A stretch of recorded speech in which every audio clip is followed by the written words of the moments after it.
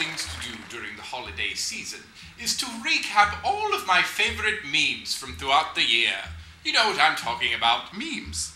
You know, trends like online joke images, like this one with Gollum and Gabby Sidibe, which reads, My precious.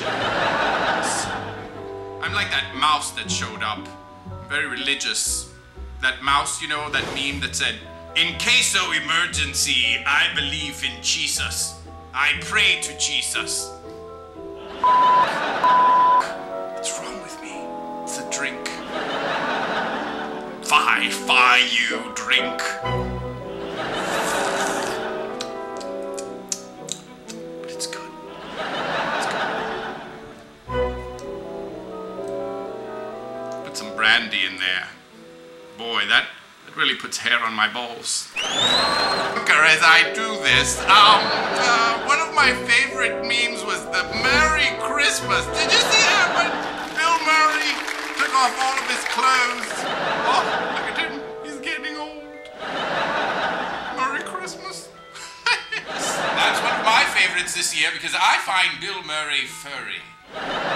Yes, is he a silver fox or a silver bear? I dare say Aretha Franklin? That was a good one. Look at that. It was a whole Aretha Franklin.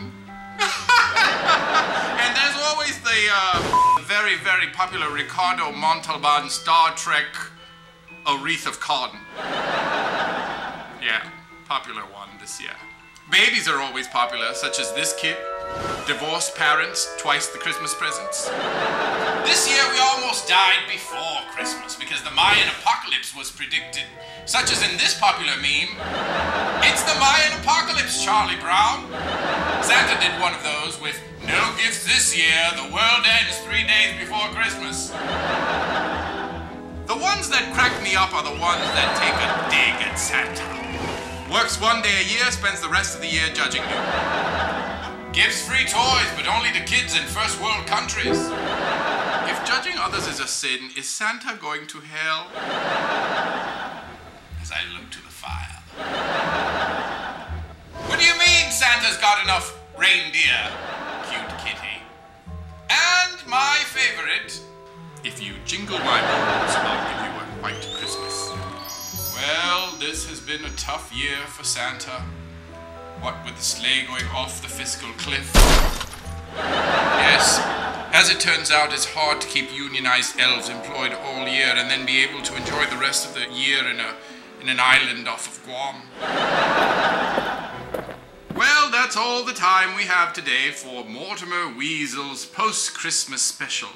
Um, we really should have had something going on here a bit more lively. Um, get some phone calls coming in with people asking me questions or something, or have some giveaways. Maybe, maybe a candy cane. We could have given away some candy canes. So, have a couple of stiff ones to ensure a silent night, and uh, I'll leave you with this. I hear those sleigh bells ring-a-ling, ting-ting, ting-a-ling too. I'd like to wish Merry Christmas to everyone, including the Jews.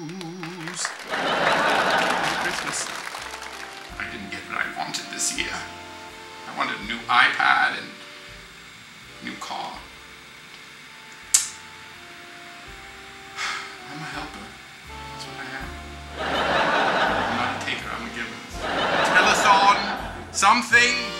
You know, the Muppets are busy raising money for charity, and here on Los Títeres, we have to be raising money for lunch.